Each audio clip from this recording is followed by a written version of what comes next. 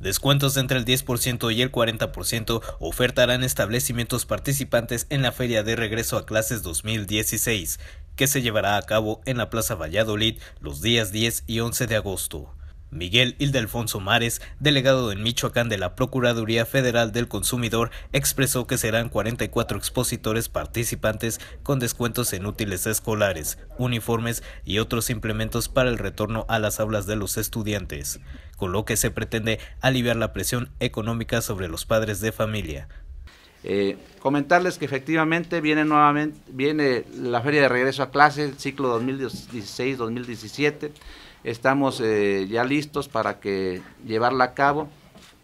Estaremos en la Plaza Valladolid realizando este gran evento donde participarán 44 expositores. Habrá este, expositores que se dediquen a la venta de artículos escolares, uniformes, calzado, pero aún más estaremos también trabajando eh, con el gobierno del estado. El, señor gobernador ha dado la instrucción de que se incorporen algunos servicios en beneficio de la población michoacana y exclusivamente moreliense, donde estaremos este, dando servicios como dar información para proporcionar este, algunas becas futuro para que todos los alumnos puedan tener una beca en, este ciclo escolar. Asimismo, Ireri Rivera García secretaria de Desarrollo Económico y Emprendedor en Morelia, recordó que el gasto medio por infante para los padres de familia asciende a entre 250 pesos y 850 pesos, por lo que la realización de eventos como la Feria de Útiles Escolares es fundamental para evitar complicaciones financieras a las familias.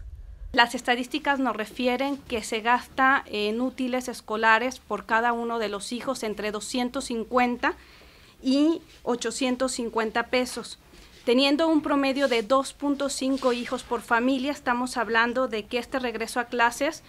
significa un gasto o una inversión entre 575 y 1.955 pesos. Eh, el esfuerzo de este evento de regreso a clases, este miércoles y jueves 10 y 11 de agosto, de 10 de la mañana a 8 de la noche busca que estos descuentos de entre el 10 y el 40% de los proveedores de estos servicios eh, genere un ahorro en las familias en esta inversión y en este gasto que tienen que hacer para regreso a clases. Con imágenes de Daniel Gómez e información de Fátima Alfaro, Agencia Cuadratín. Grupo de Oro presentó